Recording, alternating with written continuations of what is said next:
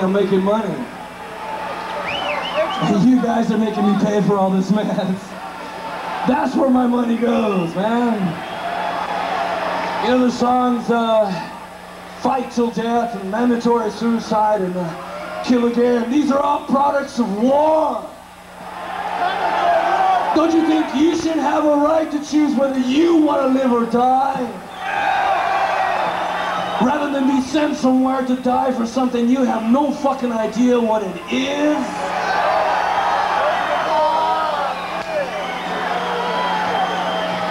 You know, and that's what happens. You get blinded by the light. You get blinded by its glory. And that's what happens when you stand behind the crooked cross.